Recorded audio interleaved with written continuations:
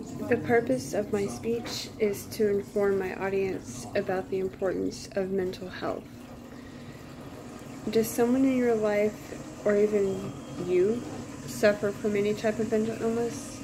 This can vary from a person suffering from anxiety, depression, post traumatic stress disorder, ADD, or ADHD.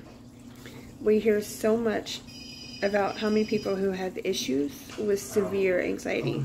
So this is something that you hear about at least once in your life, or even during your day for that matter. I want to share with you today how much it is important for us to understand what it means to suffer from one of these disorders and how much having these issues can affect a person's daily life. To start, the human brain is one of the most complex organs in the human body, and everybody's brain is not the same in how it is made up. When a person suffers from, anxiety, this alone can cause different parts of a person's brain to promote hyperactivity. Anxiety is a disorder that can permanently alter a person's brain and how it is compromised. The more that a person suffers from these disorders, the more that it can cause a person to lose long-term memory and can even cause them to develop depression or even dementia. Many people, now that we have talked about the many effects that anxiety can have on a person's health or even a brain, let us talk more about what anxiety does to the person who suffers from it. Many people who suffer from anxiety will have issues being being able to cope with their daily life, which whether it be work, social anxiety, or just being around anybody. And that can make it hard for them to be around people in certain social situations. There are many people who suffer on a daily basis. What anxiety can do to you as a person, and some of these include physical changes. The types of physical changes that a person can suffer from can be headaches, they can feel sick to their stomach, and it can cause their blood pressure to be high because of the stress and the anxiety that their body is going through.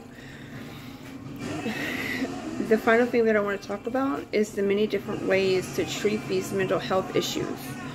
While there are many different ways to treat anxiety and depression, some of these include taking medications in order to be able to cope with daily life while suffering from anxiety. A person could simply learn how to treat their anxiety without medication, and these include methods such as learning different types of, types of relaxation methods, and you can also learn to focus on other things around you that will take your mind off of an anxiety attack everybody has different ways that they that they want to deal with anxiety.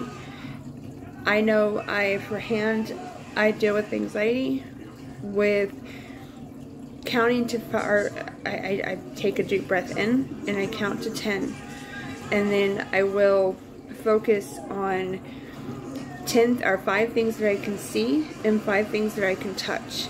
That helps me get rid of an anxiety attack without having to take any type of medication.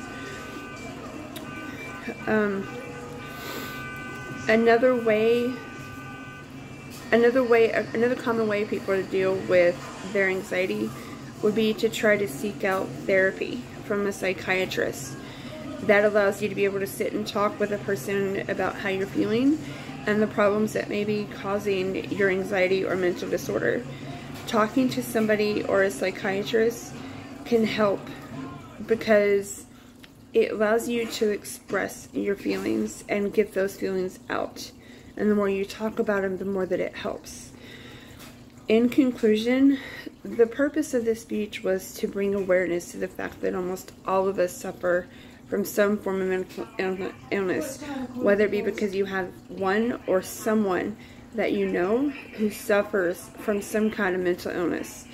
I think that it's important for us as a whole to understand that these disorders can be a real problem for someone who is trying to function in normal society, especially when there are so many people around who do not believe that mental disorders are a real illness.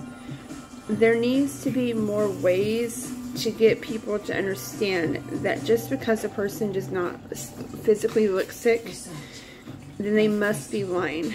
Because that is just people who do not understand the true nature of how these disorders can affect someone's brain on a daily basis. I think that there's so much stipulation with how people try to perceive somebody who suffers from anxiety or even post-traumatic stress disorder or any kind of mental illness.